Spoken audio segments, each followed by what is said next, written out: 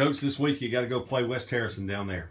Yes, sir. And, uh, you know, it's another division game, so it's a big game for us. And uh, West Harrison's a, a, formidable opponent, got a really good quarterback, uh, good receiver.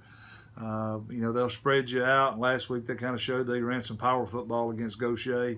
Uh, you know, we've just got to continue to get better like we have. And uh, like I said, we've got a few kids that are banged up, but hopefully we'll get most of them back by Friday night and be able to go down there and, and, continue to get better and have a chance to win this thing.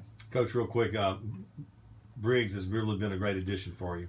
Yes, sir, he has. He's come in, and uh, he and, and also another sophomore, Clay Spears, have, have ran the ball well at fullback, and um, you know, and we're kind of counting on those guys to. if we feel like if we can establish, we got to be good at something, and that's what I've tried to sell the kids on, and uh, we want other schools to, uh, you know, have to stop something that we're doing, and uh, and I think our fullback play has been pretty good so far, and we just want to continue to do that, and and maybe uh, you know with Cam at quarterback, a ninth grader, uh, he's getting to where he's more comfortable with the offense and able to do more things with him. So we'll keep adding to it, and and uh, you know it's it's a couple of games the next few weeks that hopefully we we can have a chance in the fourth quarter to pull out a win.